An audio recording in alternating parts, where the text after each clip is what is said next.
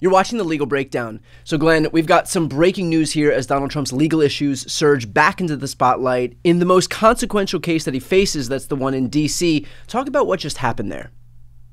You know, Brian, at long last, we're going to see some movement in Donald Trump's criminal prosecution in Washington, D.C., for trying to overturn the results of the 2020 presidential election. After a long 30 day waiting period, which is just part of the appellate process after an appeals court makes a decision, and the Supreme Court did, setting out its presidential immunity ruling. After 30 days, what's called the mandate issues, the case is returned to the trial court for further proceedings consistent with the appellate court, in this case, the Supreme Court's ruling. What does all that mean? Well, I have to tell you, my favorite headline that I read, and I've been trying to read furiously everything that's being reported about this, comes from CBS News, and the headline simply states Chutkan takes the reins.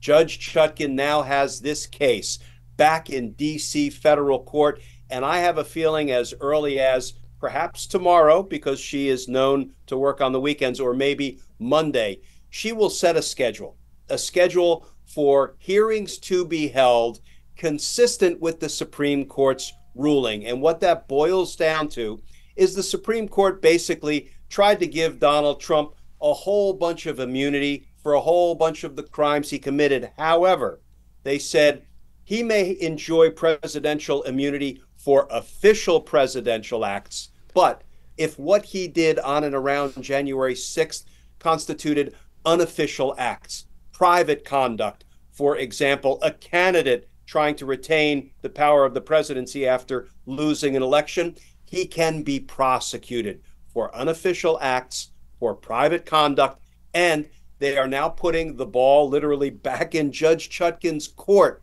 to sort all this out in evidentiary hearings. So she's going to have to hold, I think, what will be pretty wide ranging hearings on the evidence that Jack Smith collected up during the course of his investigation of Donald Trump to try to determine, consistent with the Supreme Court's ruling, what's an official act, what's an unofficial act. But here is what uh, I'm really looking forward to.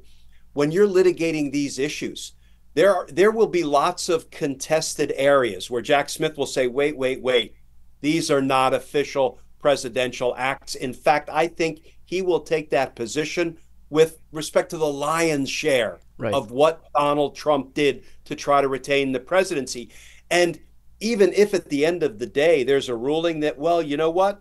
I think some of these may be presidential acts. The good news is we're going to see the dang evidence. They're going to have to litigate the question of whether all this stuff Donald Trump did was official or unofficial.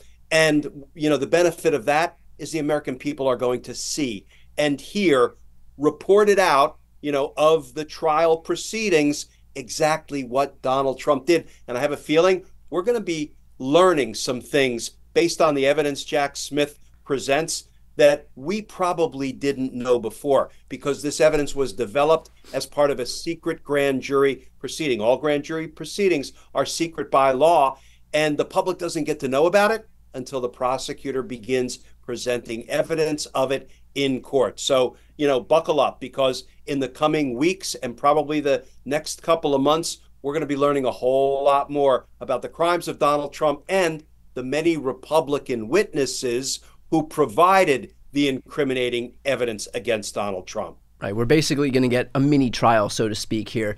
Glenn, who is the final arbiter of whether the immunity ruling actually applies to different aspects of this case? Is that going to be Judge Chutkan? Well, not the final arbiter. She will make the ruling. Right, after... and then and then inevitably, if if Trump's team, for example, doesn't agree, then we'll see the appeals process play out. So so with that process, how does that work? While they're appealing something, do, does everything get put back on hold? Chances are yes. Anytime a case goes from a trial court judge and an issue is appealed and the appeals court accepts the issue for review, that deprives the trial court judge of jurisdiction. The trial court judge can do nothing more in the case until the appeals court resolves it. So, yes, Brian, as sort of disheartening as this is, you know, this is just another step on the road of accountability for Donald Trump's crimes. It will probably go back up to the D.C. Circuit Court of Appeals once Judge Chutkan makes her rulings, and then inevitably it will be appealed up to the Supreme Court. And, you know, we all know that the Supreme Court has do- done Donald Trump so many solids, so many favors that, you know, I'm not entirely optimistic that when Judge Chutkan makes her rulings, and if those rulings are affirmed by the DC Federal Circuit Court of Appeals, that the Supreme Court will go along with it. But you know what? Listen, better we get this stuff out in front of the American people now so, you know, they don't go to the polls completely uninformed about right. exactly what Donald Trump did to try to criminally retain the power of the presidency. Just to dig in for a quick moment on the issue of appeals, will we have to wait for that process to begin until all of the issues that were raised by Jack Smith or Trump's team are finally raised. So we'll get to litigate every issue, and then whichever issues both sides have have have problems with, then they can appeal after. But we'll still get all of those issues, you know, into the spotlight at least until they're appealed. Yeah, that's a great question. I think the answer is yes. I think Judge Chutkan will not begin to allow piecemeal appeals. Okay. I think what she will do is say, listen, we are going to resolve the entire legal landscape now. Let's get it all on the record. Let's figure out what I believe is official conduct, what is unofficial or private conduct. Let's get these rulings, you know, uh, set. And then if they have to run back up the appellate chain, let's do it. But let's do it all at the same time. That's how I believe this matter will progress. Which is not to say that Donald Trump won't try to just whatever the very first issue there is, try to gum up the works by appealing that immediately and trying to prevent anything else from moving forward so that we don't engage in the very mini trial that you were just alluding to at the top of this video.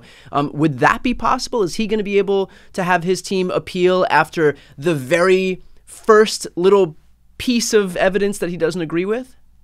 Possible, but not likely he will win because what will happen is if he tries to do a piecemeal appeal of just Judge Chutkan's first ruling, for example, um, I think the D.C. Federal Circuit Court of Appeals will be on to Donald Trump's game of delay, and they will say, no, we're not accepting this. And we are not directing that the trial court, Judge Chutkan, stay or pause her hearings. We are directing them to continue. And, and Trump, you're out of luck. I suspect that is where the appeals court will land if Donald Trump tries to play his game of delay. Okay, and of course, they could always appeal further to the U.S. Supreme Court, correct? They could, but I, I even think the Supreme Court will want to take all of the rulings sort of at one time so they can survey all the legal landscape and then reach their own conclusions about whether Judge Chutkan was right with respect to what she ruled was official conduct versus unofficial conduct. Okay. And now, finally, let's finish off with this. How privy will the American people be to what's happening in the courtroom? What kind of insight or access will we have? Uh, I'm assuming this isn't going to be televised to any degree, but what's it what's it going to look like on our end? So I will be covering the trials. I'll be in the courtroom. So the way it works is um, when these high-profile cases are handled in the courts of Washington D.C. That was my home for a couple of decades. Um, there is the, the courtroom proper. That's where Donald Trump will be sitting and Judge Chutkan will be sitting. The audience will be full. I'll be in that courtroom much of the time. There are also what are called overflow courtrooms. There's a closed circuit broadcast to those overflow courtrooms in the courthouse in DC so the public can come and sit and watch it in real time. Then there's a media room where the meet and I have access to that room as well in my as in my capacity as a legal analyst for MSNBC. And from that room, unlike the courtroom and the overflow courtrooms, you can send stuff out in real time. And that's where we have some tremendous sort of journalists and reporters and even bloggers who are very good about, you know, posting, sending out every word, every sentence, every bit of the court proceeding in what is very close to real time. I'm I'm talking literally like a 5 second delay. So, yes, this stuff's going to get out into the public square in a in a reliable fashion, not just Donald Trump's flunkies and lapdogs and sycophants stepping right. to the cameras at the end of the day and saying, "Oh my God, everything blew up and Jack Smith performed horribly in court." No, we're going to get the real deal regarding the information as it unfolds in court. And one final thing that piqued my interest here you said that Donald Trump will be in the courtroom. Is he obligated to be in the courtroom every day that proceedings occur?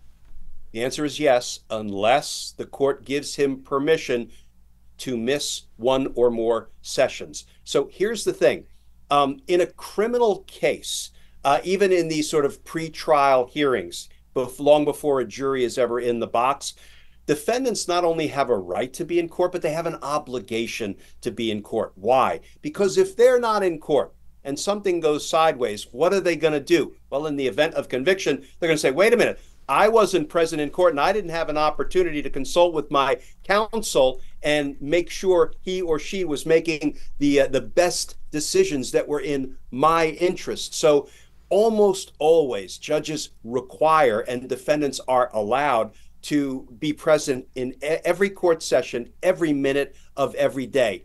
The exception to that is if the defendant makes a request to be absent from one or more sessions and the judge grants that request I, for one, hope Donald Trump doesn't make that request. But if he does, I hope Judge Chutkan doesn't grant it because, you know, if he's not there, you know, he will undoubtedly be heard to complain uh, about what went on in his absence. But it all remains to be seen. Okay, well, for those watching right now, to stay on top of this whole prog- process as it plays out, and again, we will have Glenn inside of the courtroom, so we'll have you know no better person to be able to get this information from. Please make sure to subscribe. The links to both of our channels are right here on the screen. I'm Brian Tyler Cohen, and I'm Glenn Kirschner. You're watching the Legal Breakdown.